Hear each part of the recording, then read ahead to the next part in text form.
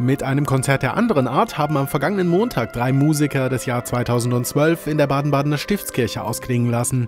Außergewöhnlich war dabei die Zusammensetzung des Trios Uwe Serr an der Orgel, der Solotrompeter Holger Bronner und die Sopranistin Diana Marina Fischer. Das Silvesterkonzert in der Stiftskirche hat nun schon eine über zehnjährige Tradition und ähm, in den letzten Jahren hat es eigentlich eher vom Publikumszuspruch her noch zugenommen die Leute haben gern noch mal an diesem Silvesterabend so einen Ruhepunkt, äh, wo sie noch mal durchatmen können, vielleicht auch ein bisschen ruhig werden können. Eine Stunde Musik hier in der Stiftskirche und danach bleibt immer noch Zeit in das neue Jahr hinein zu feiern. Experimentell starteten die Musiker in den Konzertabend, vorbei an den Bibelübermalungen von Arnulf Reiner, einer Leihgabe aus dem Museum Frieda Burda, trafen sich Gesang und Trompete im Hauptchor zum musikalischen Dialog.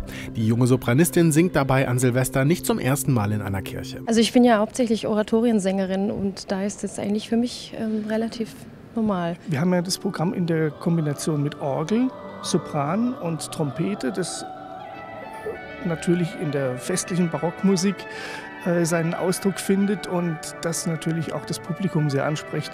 Allerdings versuchen wir auch immer einige Akzente zu setzen, die vielleicht aus, dem, aus der modernen Musik dann kommen und auch vielleicht auch gelegentlich zu irritieren. In erster Linie aber um zu unterhalten, was den drei Berufsmusikern am Silvesterabend bis kurz vor 23 Uhr vortrefflich gelang.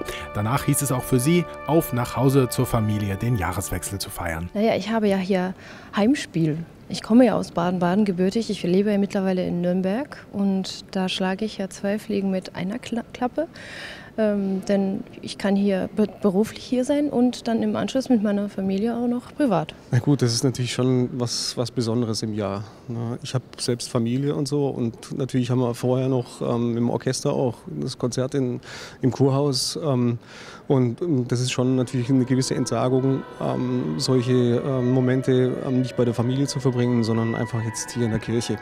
Aber das ist einfach so ein toller Jahresabschluss, den möchte ich nicht missen. Und ähm, das ist einfach eine super Atmosphäre und da macht das Musizieren natürlich halt auch doppelt Spaß.